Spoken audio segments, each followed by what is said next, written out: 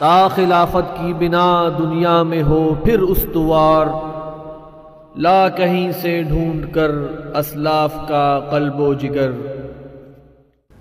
अस्सलाम वालेकुम नाजरीन। मैं हूँ वसीम अहमद और आप देख रहे हैं खिलाफत फोरम। मेरे साथ तशरीफ़ फरमा है मारूफ सहाफ़ी और कॉलम नगार मोहतरम जनाब सज्जाद मीर साहब। मेरे दूसरे मेहमान मोहतरम जनाब मिर्ज़ा अयूब बेग साहब। आप नाजिम हैं शुबा नशर शाद तंजीम इस्लामी के। नाजरीन, अमरीका आलम अरब के इंतहाई अहम मुल्क शाम पर 21 अगस्त को होने वाले कीमियाई हमलों की आड़ में यलगार का फैसला कर चुका है। अमरीका यूएनओ की सलामती कौंसल, नेटो की मुखालफत और इस हवाले से आलमी राय आमा की हमायत से महरूमी के बावजूद सिर्फ़ और सिर्फ़ कांग्रेस से इजाज़त का मुंतजर है, जिसका इजलास 9 सितंबर को होने वाला। नाजरीन, शाम 2011 से लेकर आज तक खाना जंगी की लपेट में है। जिसमें एक लाख से जायद अफराद लुकमा अजल बन चुके हैं। शाम में जमहूरियत राज करना और इस हवाले से अवाम को 40 साल से जायद अरसा पर मुहित आमरीत से निजात दिलाना ज़रूरी हो सकता है। लेकिन इस आड़ में आलमी और इलाकई अमन को तयवाल करना और हज़ारों लाखों अफराद की जानें ले लेना कहाँ का इंसाफ है? नाजीन, अभी इराक, अफ़गानिस्तान, लीबिया और मिस्र में खूनरेजी जारी है कि अमरीका आलमी अरब में एक और वार थिएटर खोलना चाह रहा है। क्या अमरीका दुनिया भर की मुखालफत के बावजूद ऐसा कर पाएगा? और अगर उसने ऐसा किया तो खुदा न खास्ता, तीसरी आलमी जंग छिड़ने का इम्कान है। आइए इस पर तफसीली बात करते हैं। सजाद मीर साहब ये फरमाइए कि अमेरिका कीमियाई हथियारों के इस्तेमाल की आड़ में यूएनओ और अपनी कांग्रेस की परवाह किए बगैर क्या शाम पर हमला कर देगा? असल बात यह जी कि उसका रिकॉर्ड तो ऐसा ही है। इराक का रिकॉर्ड है। एक तो है कि मास डिस्ट्रक्शन के वेपन उसने कहा कि वहाँ मौजूद हैं जो नहीं थे। यहाँ वो कहता है कीमिया हथियार इस्तेमाल किए गए कोई तय नहीं है जी.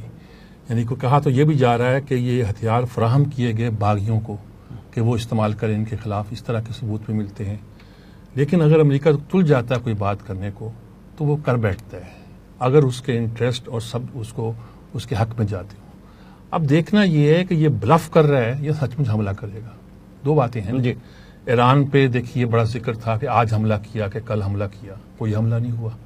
अच्छा और जहाँ दब जाए, जहाँ इसकी कोर दबती हो, जहाँ इसके मसाइल पैदा होते हैं, वहाँ पीछे हट भी जाते हैं। इस वक्त वहाँ जो बहस चल रही है, वो यही है कि अमेरिका को अगर अपनी ताकत को ज़ाहिर करना है और दुनिया को मनवाना है कि ये वाद ताकत है जो दुनिया को कंट्रोल कर सकती है तो इसे अपनी बात जो उसने कही है, उस पर अमल करना चाहिए। और अबामा ने बड़े खुल के कहा है कि जी हम हम फौज भेज रहे हैं हमला कर रहे हैं हमारा बेटा आ रहा है आगे आ रहा है। उन्होंने तो यहाँ तक कह दिया ना कि कांग्रेस ने अगर इजाज़त ना भी दी तो फिर भी हम हमला तो, कर देंगे। तो, तो भी कुछ इख्तियार लेकिन वो लीगल होगा फलां होगा ये होगा बहाने होते हैं उनके। यूएनओ के बगैर उन्होंने इराक पे हमला किया। बिल्कुल। अफ़गानिस्तान पे सिर्फ़ वाहिद हमला है जिसमें उन्होंने यूएनओ को शामिल किया गया जी। इराक में तो ये हुआ था कि जी सिक्योरिटी काउंसिल के मेम्बरान की अक्सरियत जो थी वो हमले के खिलाफ थी। यहाँ तो ये सूरत हाल है कि चीन और रूस दोनों एब्सटेन कर गए हैं। अच्छा अब्सटेन करने का गैर हाजिर रहने का एक बड़ा टेक्निकल मसला ये है कि जब आप वीटो नहीं करते सिर्फ़ आप वहाँ से बाहर चले जाते हैं तो जंग की सूरत में वो हाँ गिना जाता है। ठीक। अच्छा इसको एक सहारा खाते में तो ये हमायत ही हुई ना? हमायत हो गई। एक तो इसको सहारा गिनते हैं लेकिन उनका दोनों का एब्सटेन करना जो था इंपॉर्टेंट ये हो गया कि फ़र्स्ट टाइम चीन ने वो काम किया जो रूस चाहता था। चीन और रूस जो थे इंटरनेशनल फोरम पे साथ साथ नहीं थे तो अमेरिका को तशवीश पैदा हो गई कहीं पुराना ब्लाक जो सोशलिस्ट ब्लाक है वो इकट्ठा तो नहीं हो रहा। अच्छा ये उसके लिए बड़ी तशवीश की बात थी। इसलिए वो रुका भी रहा। फिर वो अब वहाँ राय आमा ये बनती जा रही है कि अमेरिका को अपनी फौजें कहीं नहीं उतारनी। फौजों से उतारने से डर लगता है। उन्होंने इराक में उतारी अब अफ़गानिस्तान में तो भुगत लिया जान छुड़ाना मुश्किल हो गया। तो फौज तो वो नहीं उठाएगा। अब क्या किया जाए? और दूसरी स्कीम ये आती है कि जी आप बम्बार्डमेंट करें। लीबिया में उसने वो भी नहीं की वहाँ भी फ्रांस को आगे किया बरतानिया से कहा। फ्रांस तो अब भी तैयार है। तैयार है। अच्छा यहाँ आके वो ये सोच रहा है कि जी हमें अगर बम्बार्ड भी की जाए और किसी पायलट का लॉस हो जाए तो अमरीकी पब्लिक ओपिनियन जो है उसको भी बर्दाश्त करने को तैयार नहीं है। तीसरा है मोजाइल से हिट करना। और मोजाइल से हिट करने का जवाब अगर उन्होंने देना शुरू कर दिया तो इर्द गिर्द सारी अमरीकन इंस्टॉलेशन है। यानी कोई मिडल ईस्ट का खत्ता ऐसा नहीं है जहाँ के अमेरिका की फौजी इंस्टॉलेशन मौजूद नहीं ना हो। वो टारगेट में भी होती हैं। अब आप देखिए किस सुकून के साथ वो इसराइल जो है बैठा हुआ है। उसे जैसे कोई बात ही नहीं है क्या करते हैं। अच्छा रूस ने के नाम से एक बयान आया जो बाद में तरदीद हो गई कि अगर उन्होंने हमला किया तो हम सऊदी अरब पर हमला कर देंगे। अच्छा रूस भी रिएक्ट इसी तरह ईरान ने भी ये धमकी दी कि अगर हमला हुआ तो हम इसराइल पे हमला कर देंगे। तो उसको डर है कि कोई कुछ ना कुछ हो ना जाए। अच्छा अब कोशिश उसकी यही है। अब अब, अब, अब वो लेके जा रहे हैं अपने कांग्रेस में इस बात को। कि अगर कांग्रेस में ही पास ना हुआ तो फिर उनके लिए खासी पब्लिक ओपिनियन के लिहाज से एक मुश्किल पैदा हो सकती है। नेटो चीफ ने भी तो मुखालफत कर दी कर दी नेटो चीफ ने कर दी जर्मन ने तो खुल के कर दी ना जी। जी। अच्छा जर्मन के बारे में आप कहते हैं जी कि वो अब कहीं भी हमला करने के बारे में बाहर फौजें भेजने के बारे में रिलेक्टेंट है। वे क्यों ना हो? आपने दूसरी जंग अजीम के बाद जापान और जर्मनी दोनों को डिसआर्म कर दिया। उनके हथियार बनाने पर फौज रखने पर पाबंदी लगा दी कि आपकी सिक्योरिटी की ज़िम्मेदारी हमारे पास है। वो कहते हैं जंग है ही बुरी चीज़। अच्छा जंग के तजर्बे से, हौलनाक तजर्बे से गुजर चुके हैं। आपने उनके लोगों को कन्विंस कर लिया कि जंग ना लड़ो तुम, अमन पसंद बन जाओ। अब आप उनसे तो कैसे करते हैं कि वो हमला करें? तो सारी सूरत ऐसी है जो बाज़ार हमला न करने के खिलाफ जाती है। लेकिन ओबामा की डिटर्मिनेशन या न्यू कॉन्स जो हैं, वो दोनों तरफ़ होते हैं। रिपब्लिकन ही में नहीं होते, इनके अंदर भी गुस्से होते हैं। ये नौ कदामत पसंद जो है, वो या माइंडसेट जो है वो कहता है हाँ, कुछ किया जाए कुछ ना कुछ किया जाए। तो ये फजा वही है जो ईरान पर हमला करने की ख्वाहिश के हवाले से पैदा हुई थी। और उस वक्त भी कहा जाता था कि अमेरिका ईरान पे हमला कर देगा लेकिन नहीं किया। अब भी इस वक्त सूरत नज़र ये आती है कि अमेरिका को कोई चीज़ें देखनी पड़ेंगी और कई चीज़ों पर गौर करेगा। मैं अब उसी अर्ज़ कर रहा था आपके उसमें एक मुजाकरे में भी कि देखिए जो बीसवीं सदी के आगाज़ में सल्तनत उस्मानिया को या खिलाफत उस्मानिया को डिसमेंबर करने की, मुंतशर करने की, बलकान की जंग और उसके बाद फ़र्स्ट वर्ल्ड वार के बाद जो उन्होंने की थी, अब फिर वही बातें हो रही हैं कि हम मिडल ईस्ट का नक्शा जो है रीप मैप करेंगे, नया नया नक्शा बनेगा। क्यों भाई? आप कौन होते हैं? तो मुसलमान दुनिया के खिलाफ बीसवीं सदी के आगाज़ से जो जंग शुरू थी, इक्कीसवीं सदी में आकर वो और तेज हो गई है और उनका एजेंडा खत्म होने वाला दिखाई नहीं देता। जी अयूब बेग साहब शाम की वजह से आलमी और इलाकाई अमन जो है वो खतरे में नज़र आता है। शाम की हमायत में ईरान है, चीन है, रूस है, इसी तरह उसकी मुखालफत में अमेरिका है, यूरोपीय यूनियन है और इसराइल है। आप ये बताएँ कि ये तमाम ममालिक जो हमायत में हैं, जो मुखालफत में हैं, इनके शाम में क्या मफादात वाबस्ता है? बसमीम वसीम साहब, सबसे पहले तो एक आम गलत फहमी जो इस वक्त नज़र आती है, उसे दूर कर लेना चाहिए। और वो ये कि यूँ समझा जा रहा है जैसे शा, शाम की जो हुकूमत है बशारुल असद की एक तरफ़ वो है और उसके साथ ईरान है उसके साथ चीन है रूस है है बहरीन है। वगैरह हैं। और दूसरी तरफ़ अमेरिका के हमायती वो फ्री सीरियन आर्मी है जो कि आर्मी बशारुल असद से सीरिया को आज़ाद करवाना चाहती है। हकीकत में एक तीसरा ग्रुप भी है इसमें और वो है ये तहरीकी और जहादी तंजीमें जो हैं। ये यूबेक साहब ये जो जितनी भी वहाँ पे बशार असद के मुखालिफ जो लोग हैं इनका एक कुलेशन बन चुका है ना? तो जिन्हें बागी कहा जा रहा है। तो ये सारे एक ही नहीं है इसके अलावा भी कोई ग्रुप जो है एग्जिस्ट कर रहा है। वो लड़ रहे हैं लेकिन कोलिशन नहीं है। इसमें दो जमात दो पार्टियाँ लड़ रही हैं उनके खिलाफ। एक अल नसरा फ्रंट है ये है जहादियों का ग्रुप अल नसरा फ्रंट के नाम से। और ये अपनी स्टेट को कहता है Islamic state of Syria and Iraq वो इराक को अपने साथ शामिल करते हैं। बास पार्टी है ना बेसिकली बेसिकली नहीं बास पार्टी का ताल्लुक तो है बशारुल असद से। नहीं मैं असल में ये सीरिया और शाम और अराक का ताल्लुक जो बनता है वो, वो बास पार्टी बुनियाद वही है बुनियाद वही है। तो इसमें ये अल नसरब फ्रंट जो है ना ये हकीकी दुश्मन है बशर बशारुल असद की हुकूमत का। ये जो दूसरा जिसे अमेरिका सपोर्ट कर रहा है फ्री सीरिया आर्मी उसको उसकी जंग में कोई हैसियत नहीं है वो मीडिया में है ज़्यादा। इसीलिए अमेरिका को ज़्यादा मसला पड़ा हुआ है। अगर, और यही वजह है कि अमेरिका इस जंग को तवील करता चला जा रहा है कि दूसरा जो ताकतवर ग्रुप है, जो बशारुल असद के खिलाफ जो ताकतवर ग्रुप लड़ रहा है, वो है अल नसरा फ्रंट। अब अल नसरा फ्रंट जो है, वो खालिस्तान इस्लामिक फ्रंट है।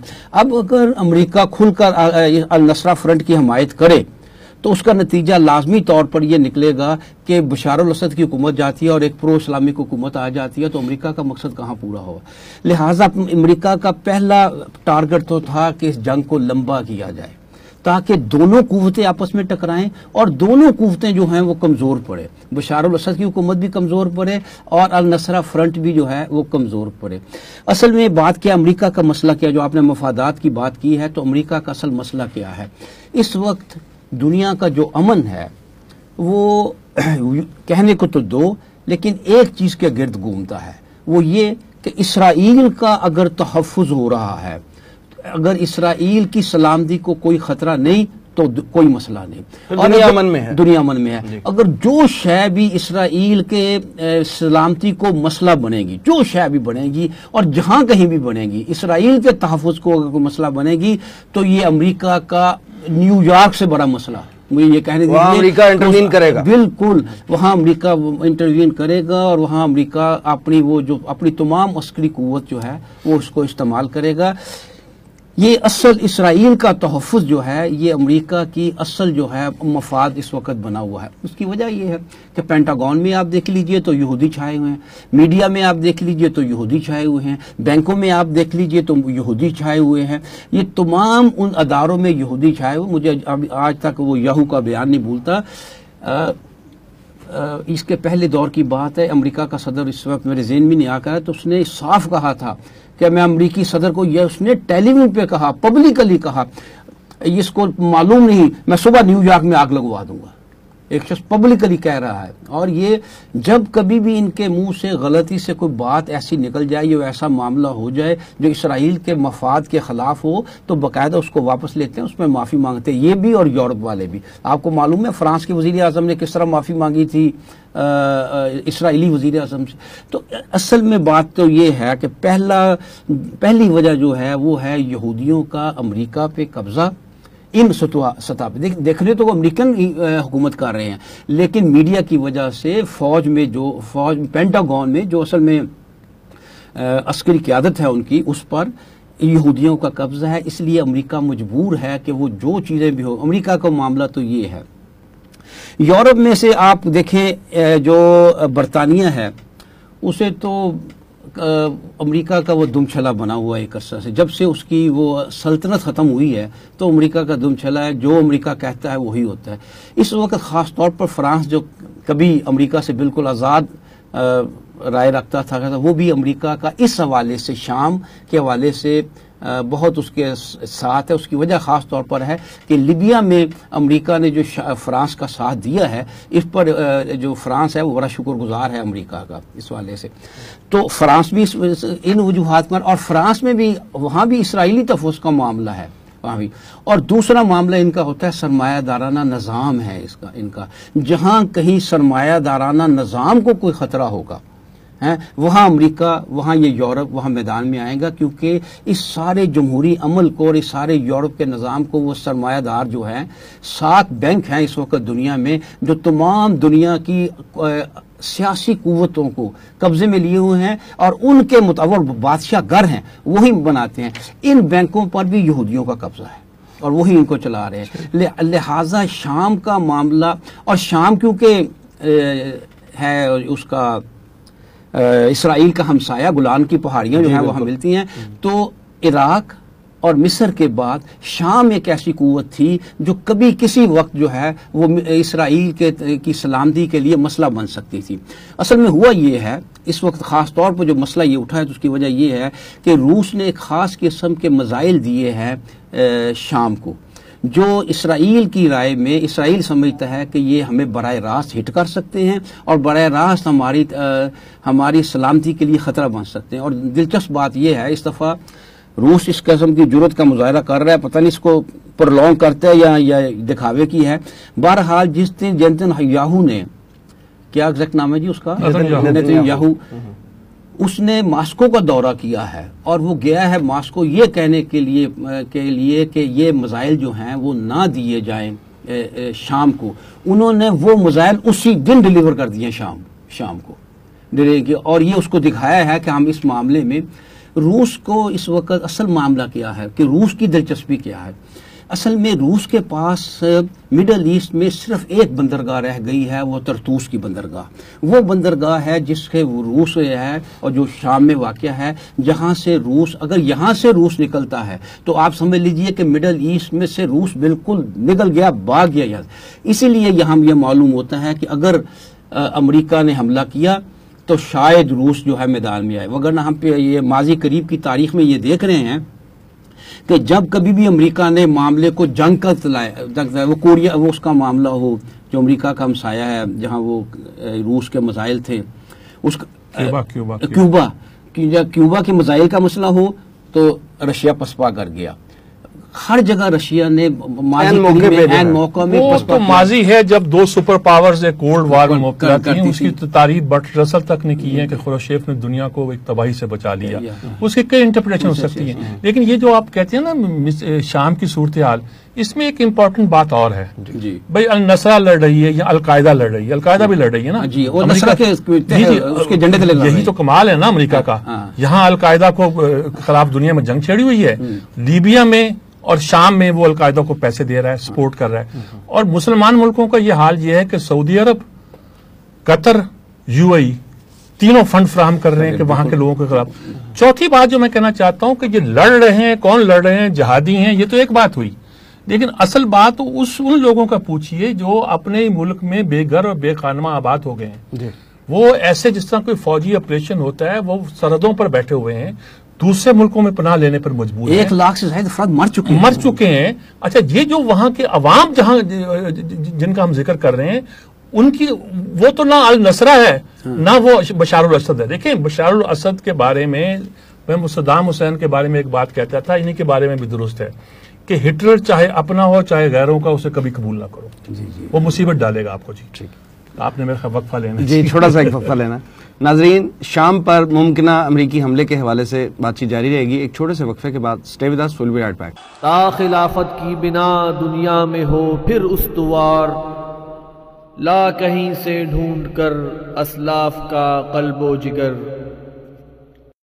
वेलकम बैक नाजरीन। सिराज मीर साहब आप फरमा रहे थे कि अमेरिका जो है वो पाकिस्तान में और कहीं और अगर अलकायदा इस्तेमाल हो रही है तो उसकी तो मुखालफत कर रहा है लेकिन मिडल ईस्ट में अलकायदा को सपोर्ट कर रहा है ये बड़ी अहम बात है। लड़ाई उसने शुरू की अलकायदा की। जी। अफ़गानिस्तान में सीज फायर करने को तैयार है कि तालिबान से तो बात हो सकती है अलकायदा से अगर वो छोड़ दें तो। जी बिल्कुल। लड़ाई उनकी अलकायदा से है। हम्म, हम्म।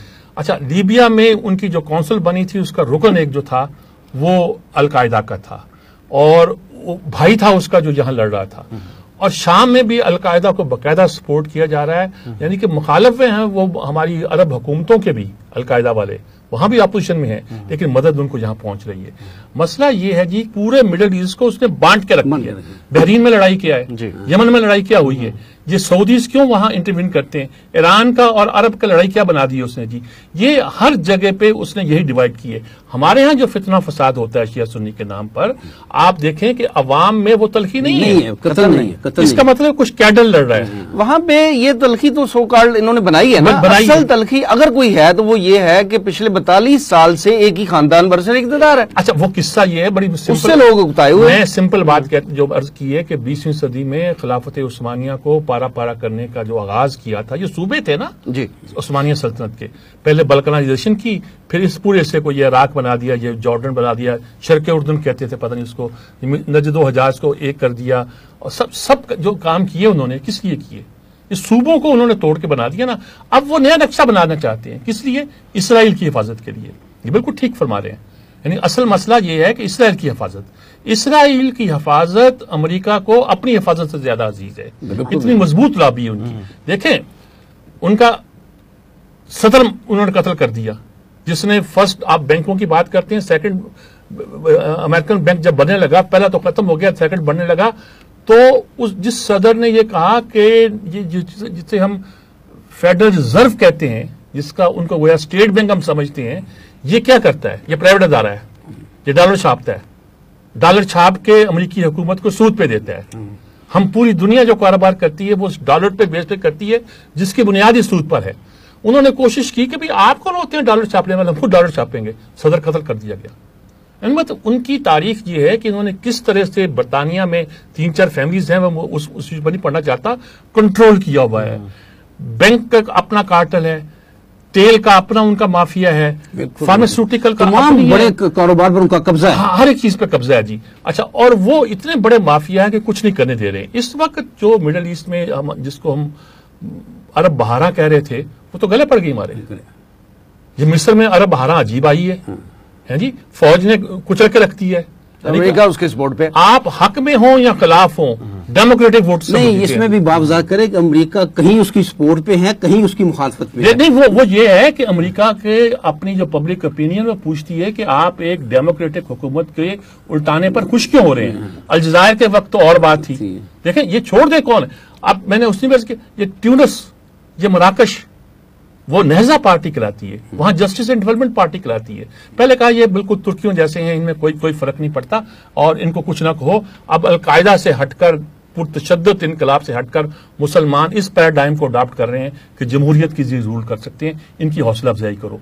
ये इतदाल पसंद लोग हैं बिल्कुल तुर्की के मॉडल पे काम कर रहे हैं हम भी खुश हो गए।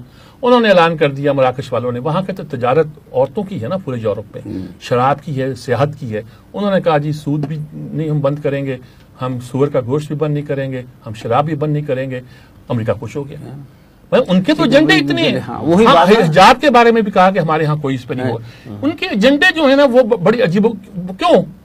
अब कहते हैं ना जी पेप्सी आ गई या कोक आ गया अमेरिका में आ गया या चीन में आ गया इससे क्या फ़र्क पड़ता है? वो अपना पूरा लाइफ स्टाइल कल्चर ऐसा ऐसा इन चीज़ों के ज़रिए नफूज करता है। बड़े सियाने लोग हैं वो। तो इस वक्त जो मिडल ईस्ट का मसला है रूस के बारे में बिल्कुल आपने दुरुस्त कहा कि रूस के अपने वहाँ इंटरेस्ट है। देखिए दो ही बास पार्टियाँ थी जो मज़बूत थी। एक ये और एक अराक की मिस्र की पार्टी जो थी उसका नाम तो कुछ और था अगरचे वो भी रूस के इन्फ्लुएंस में थी। ये सब अमेरिका उसके इन्फ्लुएंस को तोड़ने के नाम पर हालाँकि सदाम तो इनके साथ मिल गया था। सदाम तो अमरीका के साथ मिल गया था अंदर से? हाँ। बाद में जाके गड़बड़ पैदा हुई। तो मसला ये है जी कि उनको कुछ नहीं है कि अगर मिडिल ईस्ट डिस्टेबलाइज होता है तो उनका कुछ नहीं जाता। यहाँ हिजबुल्ला शाम और ईरान का इतिहाद उन्हें तंग करता था। इस इतिहाद को भी वो तोड़ना चाहते हैं। लेकिन उससे ज़्यादा उनकी गुरान हाइट्स पर आज भी इसराइल का कब्जा है। और वो शर्त रखते हैं कि गुलान हाइट्स सजाद मिर्ज़ा असल हमारे लिए जो बड़ा अफसोसनाक बल्कि शर्मनाक मामला है वो ये है वो मुसलमानों की तकसीम है। बहुत तकसीम बहुत तकसीम है। देखिए अगर सऊदी अरब अगर सऊदी अरब वहाँ हमायत का मिस्र में कत्ल आम की हमायत करता है। हम्म। और अगर सऊदी अरब जाम अजहर कर रहा है। जाम अजहर कर रहा है। सऊदी अरब की तो पार्टी है वहाँ सल्फियों की हाँ Al Nour party 25 percent vote लिए हाँ, जिन्होंने रेफरेंडम में का साथ दिया यानी मिस्र में हमारा किरदार ये है मुसलमानों का कि मिस्र में उस कत्ल आम की हमायत की जा रही है। हम्म। और शाम में अपनी तरफ़ से सऊदी अरब जो है वो मिस्र वो उस कत्ल आम के खिलाफ लड़ रहा है। यही बात है ना? ये, ये, उसका मतलब ये हुआ कि खालिस्तान जाती मफादात।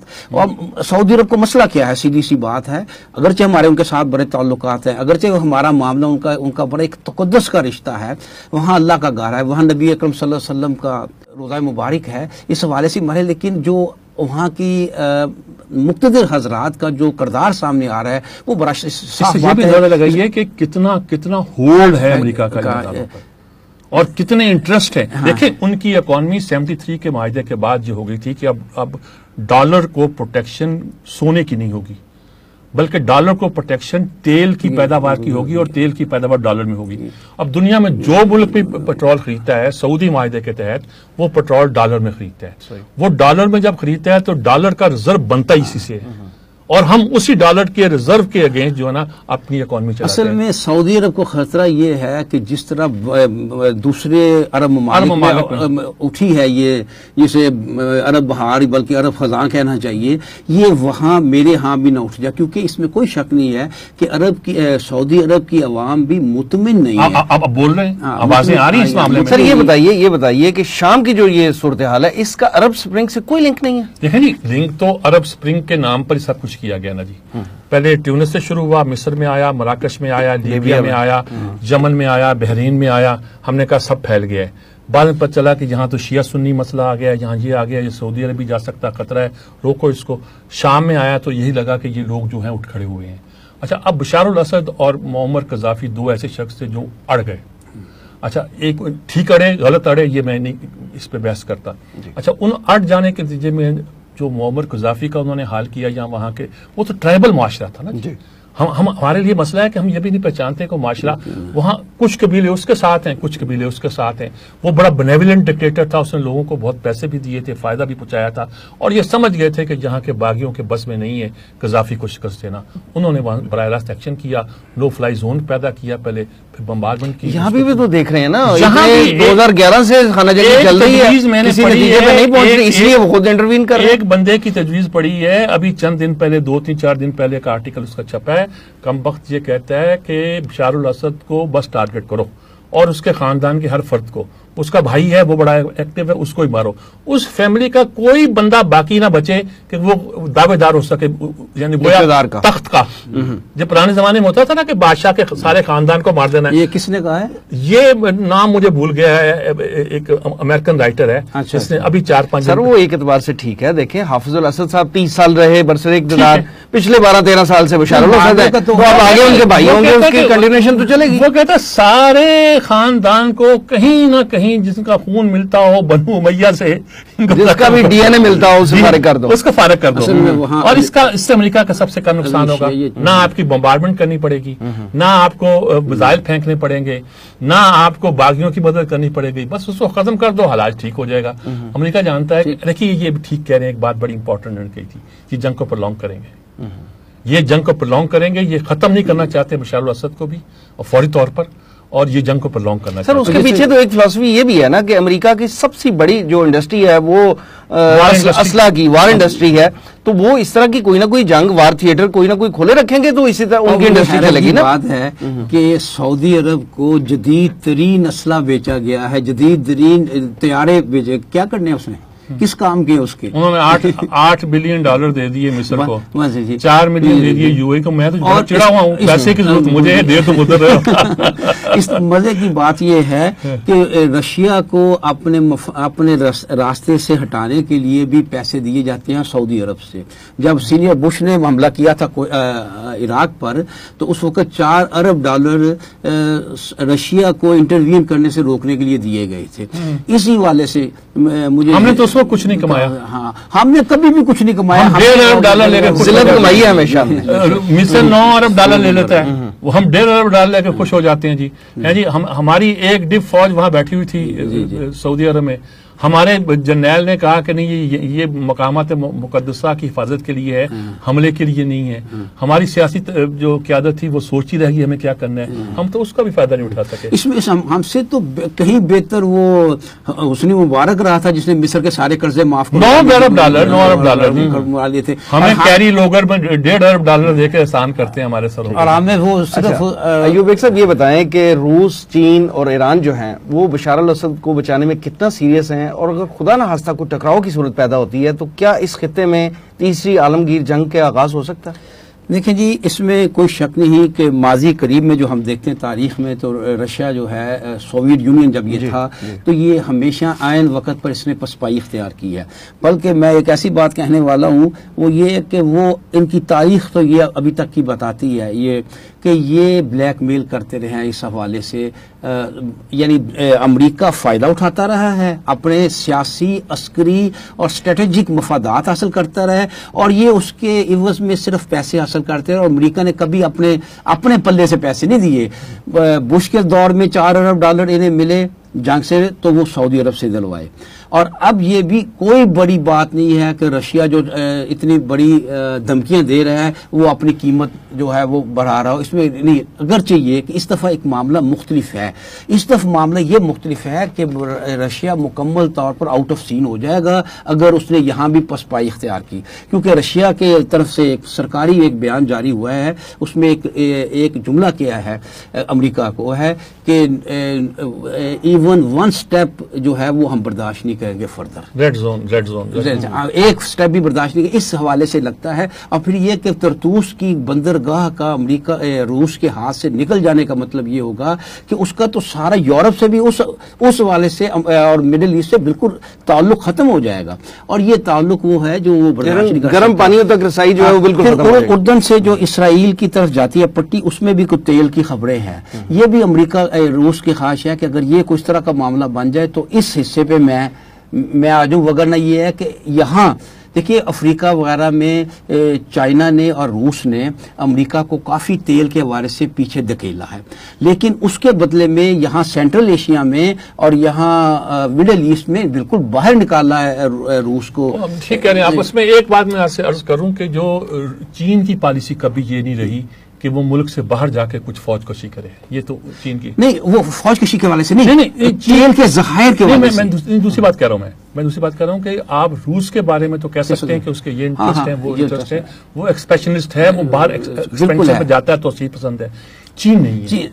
चीन की हमत अमली ये है कि जब तक वो इतने इस लेवल पे नहीं पहुँच जाता जहाँ वो किसी भी ताकत से टकरा जाए वो फौज कशी कहीं नहीं करेगा। ये तो चीन का तो फलसफा है। असल में ये वारफ नर्व्स है। असाब की जंग भी है। और उसमें सबसे जो तकलीफ़ बात है वो मुसलमान मुल्कों की शमूलियत है। अब कतर ने पैसे नहीं भेजे। हालाँकि वो उस इतिहाद में शरीक है मुर्सी के मुखालफ इतिहाद में। क्यों नहीं भेजे? उसने पहले इन्वेस्ट कर दिया फौज में वहाँ मिस्री फौज में। वो अपने पैसे जाया होते देखना नहीं चाहता। देखे ना अब अब हमारे मुल्कों के भी माली मफादात हो गए ना जी। जामिर साहब आपकी बात काट रहा हूँ। मैंने जो चीन का ज़िक्र किया था ना वो इकतसादी वाले से इकतसादी वाले से किया था। अपनी जगह सही है। मैं वो वो उसमें तो कुछ शक ही नहीं। उसको और मैं बताऊँ। हाँ। चीन ने अफ्रीका में न सिर्फ़ ये कि तेल की चीज़ों पे कब्जा किया हुआ बल्कि एक चीज़ होती है जिससे रेयर अर्थ कहते हैं। हाँ। यानी कि रेयर अर्थ से मुराद वो वो नायाब मिट्टी है हाँ।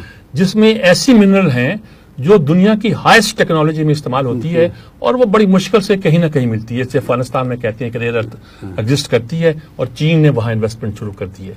इस तरह अफ्रीका के ममालिक में वो रेयर अर्थ चीन में खुद बहुत मौजूद है। खासी मौजूद है वो भी उन्होंने कब्जे में ले ली है। मतलब ये होता है कि तेल के साथ रेयर अर्थ क्या है? आपने बहुत एक कोई आपने सेटेलाइट बनाना है तो उसमें उसका कोई थोड़ा सा जरा मिलाएँगे ना तो वो वो वो बहुत मज़बूत हो जाएगी फ़र्ज़ किया लोहा का। मतलब कोई इस तरह की वो मिनरल्स हैं कुछ दस बारह पंद्रह हैं जिसको रेयर अर्थ का नाम देते हैं। चीन ने उस रेयर अर्थ पे भी अफ्रीका में मात दी है अमेरिका को। हम्म। और उसने अब अफ़गानिस्तान में भी देखा ना अब इंडिया क्यों भाग रहा है वहाँ? हम्म। वो कहता है शेयर बनो शेर बनो शेयर बनो अमेरिका कहता है उसे। हम्म। तू रीजनल सुपर पावर है। तू इन्वेस्ट कर रहा है अफ़गानिस्तान में और कर इन्वेस्ट. वो कहता है इन्वेस्ट तो कर रहा हूँ पाकिस्तान के मुकाबले में। पर अब ये चीन आ गया इसका क्या करूँगा तो चीन से डरता हुआ वो अफ़गानिस्तान में भी कदम नहीं जमा रहा हाँ बिल्कुल यानी चीन जो कुछ करता है इकतसादी वाले से करता है अस्करी वाले से फौजी वाले से वो दूसरे मुल्कों में कोई इस वक्त तक नहीं अभी तक इंटरवेंशन उसकी कोई नज़र नहीं उसका सिर्फ़ उसके सिर्फ़ भारत के साथ कुछ वो मसले हैं सरहदी मसाइल हैं। वो शुरू वो तो अब उन्होंने बता दिया कि भाई ये आपके बस का बात नहीं हाँ। हिंदुस्तान को कि आप लड़ाई लड़ सके। असल में अमेरिका भी एक और स्ट्रेटेजी इख्तियार कर रहा है। वो इस खत्ते से अपने आप को निकाल कर साउथ चाइना सी में ले जाना चाहता है। और साउथ चाइना सी में नाम उसने रखा हुआ एशिया पाइवट, मरकज एशिया का गोया। वहाँ वो इसलिए लगाना चाहता है कि ये चीन के असरात, इर्द गिर्द के ममालिक पर, सारों पे, सिंगापुर पे, वियतनाम पे, इस पे, जिस पे ये, इंडोनेशिया पे ये फैलते जा रहे हैं। उसको डर है कि अगर हम यहाँ ना हुए तो माशी तौर पर पूरे इलाकों पर कब्जा कर लेगा। अच्छा वहाँ उन मुल्कों में कुछ रेजिस्टेंस भी है चीन से, क्योंकि उनका कल्चर तो पूरा मैकेनाइज है ना। तो ये वहाँ उसका फ़ायदा उठाकर ये Asia pivot Asia pivot Obama ने दो तीन साल से शोर मचाया हुआ है। ये कहते हैं हम अपनी असल ताकत अब वहाँ ले जाएँ। जिसमें फिर ये ऑस्ट्रेलिया भी शामिल होगा, दूसरे ममालिक भी शामिल होंगे। लेकिन वहाँ जाने से पहले ये इलाका साफ़ कर दें। ये इलाका साफ़ कैसे होगा जहाँ इसराइल मौजूद होगा? इतना बड़ा गंद मौजूद हो तो आप सफ़ाई वहाँ कर ही नहीं सकते। वहाँ तो अस, मसला तो देखिए ये अमेरिका से ज़्यादा वो इसराइल की जंग अमेरिका में कुछ लोग कहते हैं कि हमारे बहुत से फैसले इसराइली इसरात के तहत होते हैं। बिल्कुल होते हैं इसमें कोई शक नहीं, अमरीकी कहते हैं आप। हाँ, तो कहते हैं अमरीकी कहते हैं कि हमारे बहुत से फैसले इसराइली इसरात के तहत होते हैं हमें तय करना चाहिए कि हमें क्या करना है। अब वहाँ जो इसराइली लॉबी है जिसे अब द लॉबी कैप भी कहते हैं या जियोश लॉबी भी कहते हैं इसराइल लॉबी कहते हैं इतनी मज़बूत हो चुकी है हम्म। कि आप सोच नहीं सकते कुछ करना उनकी मर्ज़ी के बगैर। वो किस तरह पेनिट्रेट किया है किस तरह उन्होंने काम किया है ये खैर लंबी कहानी है।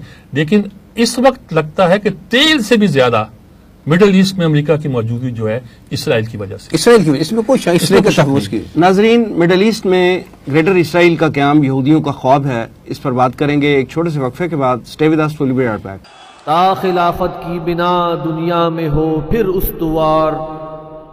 ला कहीं से ढूंढ कर असलाफ का कल्बो जिगर। वेलकम बैक नाजरीन। सजाद में सब कहा यह जाता है कि यहूदियों का ये ख्वाब है कि मिडल ईस्ट में ग्रेटर इसराइल जो है वो कायम करें। ये उनका हावी है या मुसलमानों का खौफ है ये? देखा जी ख्वाब तो उनका नहीं उनकी किताबों में लिखा हुआ है। और मदीना तक अपनी सल्तनत को समझते हैं। उन बस्ती से कहते हैं हम निकाले गए हैं वो वो उनकी जो ज़मीन मऊद के अर्ज़ मऊद है वो दूर दूर तक फैली हुई है ये उनके ख्वाब हैं। जहाँ से निकाले गए हैं वहीं आबाद करो। वो इकबाल ने कहा था ना कि है यहूदी का अगर फ़लस्तीन पे क्या हक? क्यों अस्पानिया पे क्यों हक नहीं है अरब का? अच्छा मतलब ये है कि अगर ये दलील दी जाए तो फिर दुनिया के बहुत से हिस्सों पे हमारा हक पहुँच जाएगा बिल्कुल वो एक बहुत उसको तोसी करना चाहते हैं लेकिन वो आसान काम नहीं नज़र आता ना जी। इन्होंने जो 67 की जंग में इलाकों पे कब्जा किया था सहराए सीना पे कब्जा किया था, जॉर्डन के, उर्दन के इलाके पे कब्जा किया था, कुछ और इलाकों पे कब्जा, गजा की पट्टी पे कब्जा किया था, ये इन्हें छोड़ना पड़ा है। आलमी दबाव के तहत इन्हें छोड़ना पड़ा है। वरना अगर कब्जा करके बैठ जाते तो बैठे रहते। तो सी पसंदी उनके मुसलम है जी। आज भी वो नौ आबादियाँ बना रहे हैं बस्तियाँ तामीर कर रहे हैं उन इलाकों पे जिनको वो डिस्प्यूट तस्लीम कर चुके हैं मुतनाज़ तस्लीम कर चुके हैं। वहाँ बस्तियाँ बनाकर ये ऐलान करना चाहते हैं कि ये हमारा हिस्सा है। यानी ऐसा ऐसा तो वो आगे बढ़ने की हिम्मत कर रहे हैं लेकिन उसको बड़े इलाके को फैलाना जो है ना अभी उनके बस में नज़र नहीं आता। ये जो प्रेजेंट पूरा जिसे हम कहते हैं कि नरम किया जा जा रहा है सॉफन किया जा रहा है मिडल ईस्ट को और इसकी जो सरहदें जो हैं वो ढीली की जा रही हैं और इर्द गिर्द के मुल्कों की अस्करी कुत को तोड़ा जा रहा है ये उनके बड़े ख्वाब का हिस्सा हो सकता है। अच्छा ख्वाब तो वो देखते रहे ना जी। लेकिन हमें भी तो वो तो प्लान्स बना चुके हैं नक्शे मौजूद हैं नक्शे हर चीज़ मौजूद- मौजूद है। नक्शे तो मौजूद हैं वो रीमैप करना चाहते हैं पूरे मिडिल ईस्ट को लेकिन अल्लाह भी तो मौजूद है ना जी। वो भी तो अपनी उस मुकदस सरजमीन की हिफाजत करेगा ना जी। ठीक है मतलब तारीख में ये अदवार आते रहे हैं एक छोटी सी। मुझे तो इस बात का भी यानी इस नुसरत इलाही की भी तो है कि कहीं ऐसा अगर ज़्यादा देर तक चलता रहा तो खुद अमेरिका की पब्लिक ओपिनियन जो है इन यहूदियों के अब भी बहुत खिलाफ हो गई है। इतनी खिलाफ हो जाए कि खुलम खुल्ला अमेरिका के अंदर भी इनके खिलाफ बगावत शुरू हो जाए। ये आसान काम नहीं है जी। तोसी पसंदी बड़ा बड़ा शौक होता है।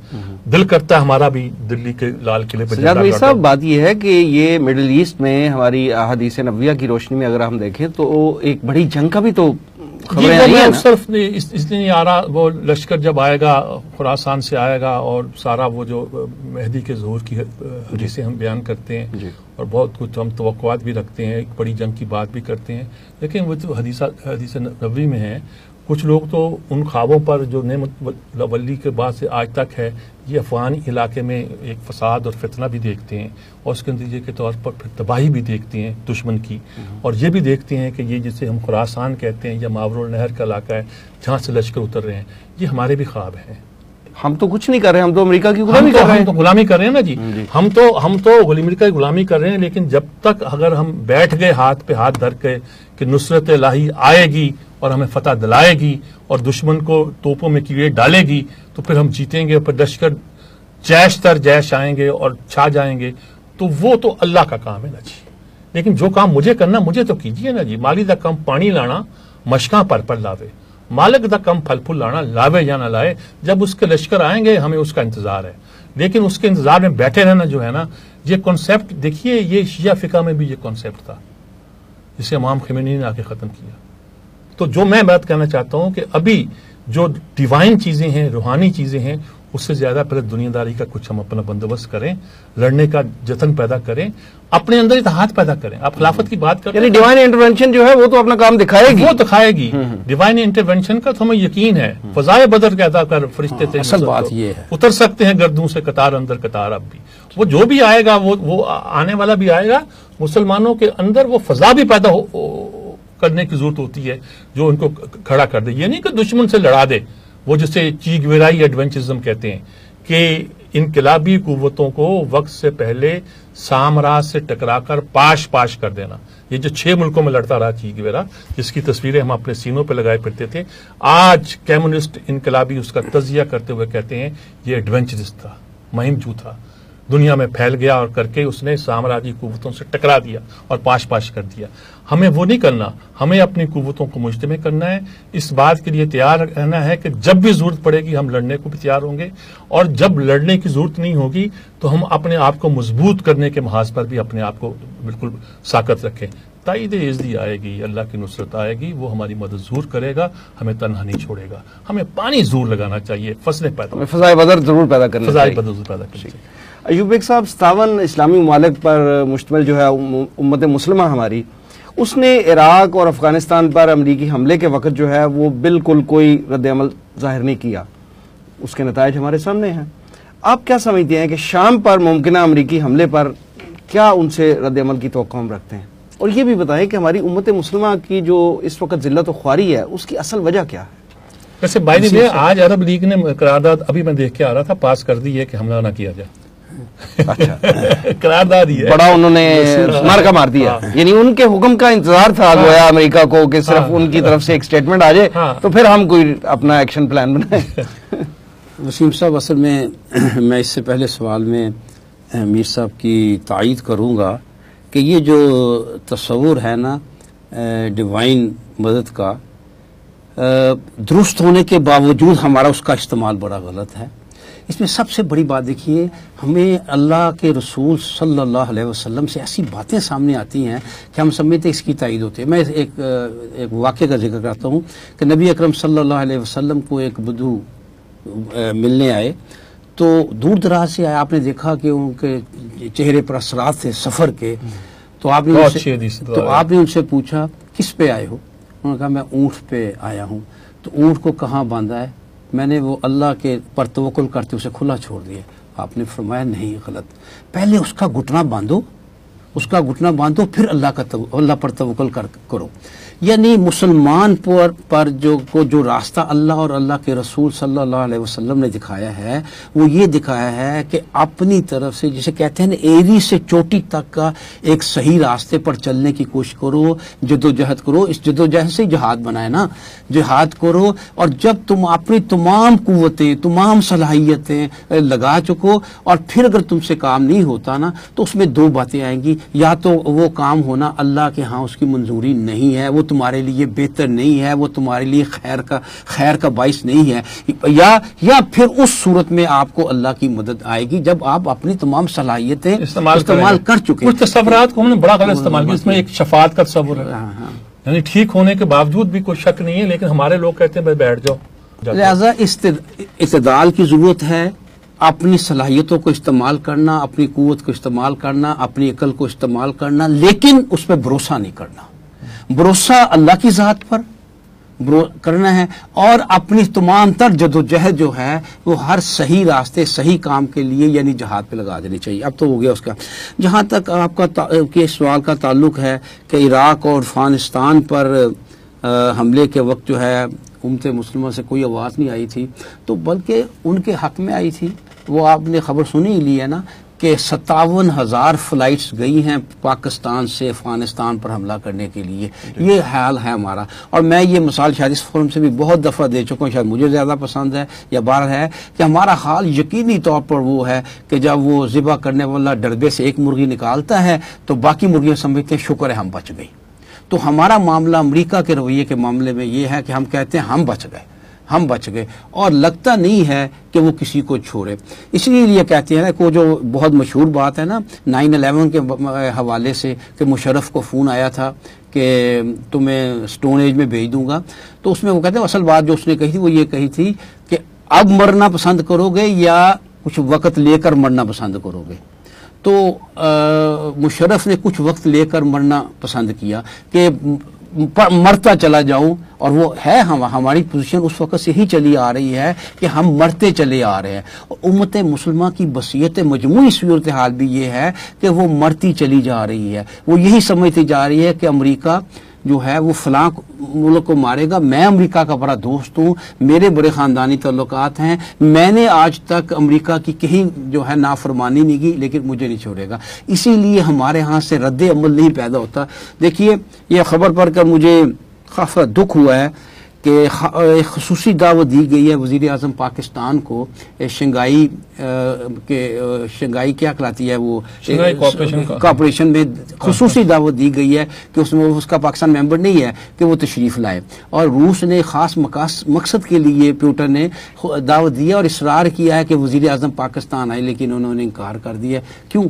और जा, या वो जा रहे हैं राजा ज़फ़र वो क्या सरताज अज़ीज़ जा रहे हैं जो अज़ीज़ जा रहे हैं जो क्यों? इसलिए कि अमरीका को अमेरिका को बुरा ना लगे अमेरिका इसका बुरा ना मान ले। ये हालत जब ये हालत होगी तो वो चाहे शाम पर हमला करे चाहे मिस्रियों को ज़िबा किया जाए चाहे वो लेबनानियों के साथ या चाहे वो लिबिया के लोगों के साथ किसी के साथ कोई हमें कत्ल करे ज़िबा करे कोई रद्द अमल उठने का सवाल नहीं है। अब आगे इसकी वजह कि उम्मत मुसलमान का मामला क्या? देखिए, ये अल्लाह ने कुरान पाक में और नबी अकरम सल्लल्लाहु अलैहि वसल्लम ने अपनी हदीस में बड़ा साफ़ फरमा दिया था कि मुसलमान उस वक्त तक इस दुनिया में गालब कुत की हैसियत से रहेंगे, जब तक दीन इनके अंदर रहेगा और ये दीन पर कारबंद रहेंगे। जब दुनिया इन पर छा जाएगी, जब दुनिया इन पर गालब आ जाएगी, या जब ये सब कुछ दुनिया के हवाले से करेंगे तो फिर इनके दिलों से अल्लाह दुश्मन के दिलों से इनका रोब जो है वो ख़त्म कर देगा। और अल्लाह इन पर भूख और खौफ को जो है वो मुसलत कर देगा। आज हम पर भूख भी मुसलत है और खौफ भी मुसलत है। और मज़े की बात यह है कि हमारी वो अरब रियासतें जहाँ भूख तो नहीं है, लेकिन खौफ वहाँ हमसे भी ज़्यादा है। हमसे भी ज़्यादा। तो असल मसला क्या है? असल मसला हमारा इस उम्मत मुसलमा का ये है कि इसने वो दीन छोड़ दिया। वो कुरान पाक में भी ये भी ज़िक्र है ना कि नबी अकरम सल्लल्लाहु अलैहि वसल्लम अल्लाह के हजूर हमारे जो हम बड़ी शफात की उम्मीद लगा कर बैठे अल्लाह करे हमें नसीब हो अल्लाह करे हमें नसीब हो। लेकिन है क्या? कुरान कहता है कि नबी अकरम सल्लल्लाहु अलैहि वसल्लम खुद खड़े होकर कहे, कहेंगे कि मेरी उम्मत ने इस कुरान को छोड़ दिया। तो बात ठीक है सतावन मुल्कों से आप तो कोई ना कोई तो को ना रखे कि ये किसी नहीं इनके सबके इंटरेस्ट अलग अलग हैं और उन इंटरेस्ट की कई वजूहत हैं। और वही मुर्गियाँ निकालेंगे तो वो दूसरे समझेंगे कि हम बच गए हैं। ये इस तस्वर को बाई करने को तैयार ही नहीं है कि अमरीका ये सारा काम इस्लाम दुश्मनी में कर रहा है। वो समझते हैं कि हमारे यहाँ कुछ खराबियाँ पैदा होती हैं। उन खराबियों को तोड़ के तौर पर कुछ ये भी अमीर साहब की ये समझते हैं आज का दिन गुजर गया। आज का दिन खैरियत से गुजर गया। कल भी कोई ना कोई खैरियत का दिन गुजरने का कोई सबब बन जाएगा। हालाँकि इन्हें मालूम होना चाहिए कि देखिए असल में मामला क्या है? मैंने एक शुरू में की थी कि अमेरिका को इसराइल के बाद एक दूसरी चीज़ का जो तहफ़ करना है वो सरमायादाराना निज़ाम का करना है। और दुनिया में कहीं और करना इसी का जी। दुनिया डेमोक्रेसी का नहीं करना हाँ निज़ाम का करना है। डेमोक्रेसी बेचारी की हैसियत क्या है? वो तो एक गलाफ है। दुम छल्ला है इसका सरमायादाराना निज़ाम का। एक गलाफ है जो उसने पहना हुआ है। ये अच्छा अब अमरीका देखता ये है कि सरमायादाराना निज़ाम के इस मुकाबले में दुनिया में कोई और निज़ाम नहीं। इश्तराकियत थी उसको फना कर दिया खत्म कर दिया। चाइना के पास बाकायदा कोई निज़ाम नहीं है। अगर जो तरक्की कर रहा है तो अपनी वो मुखलिस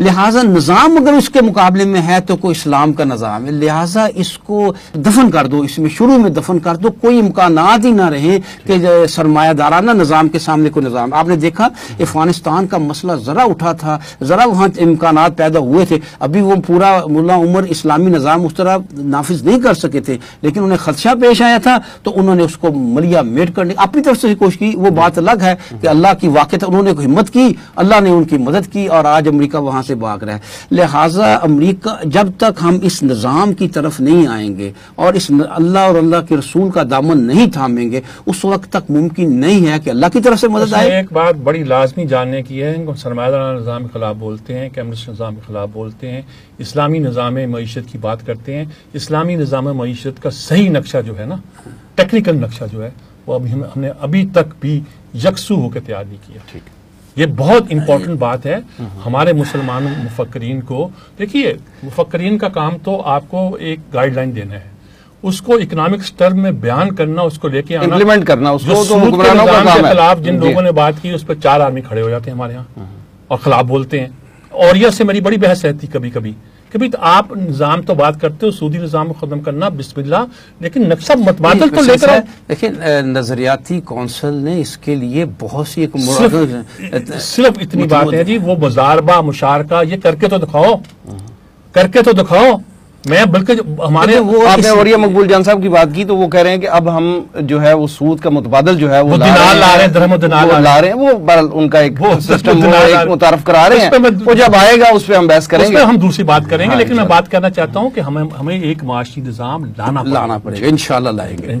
अयूब बेग साहब और सजाद मीर साहब खिलाफत फोरम में तशीफ का बहुत शुक्रिया। नाजरीन ये था आज का प्रोग्राम। मुल्की और बैन अवी सतह पर पेश आने वाले हालात वाक़ात के बारे में इस्लामिक पॉइंट ऑफ़ व्यू जानने के लिए देखते रहिए खिलाफत फोरम। इस प्रोग्राम के बारे में फीडबैक ज़रूर दीजिएगा। हमारा एड्रेस है media at Tanzeem dot O R G Khilafat forum के तमाम प्रोग्राम तंजीम इस्लामी की ऑफिशियल वेबसाइट पर मौजूद होते हैं। उसका एड्रेस है W W W dot Tanzeem dot O R G Khilafat forum के अगले एपिसोड तक के लिए वसीम अहमद को इजाज़त दीजिए। अल्लाह ने के बाद।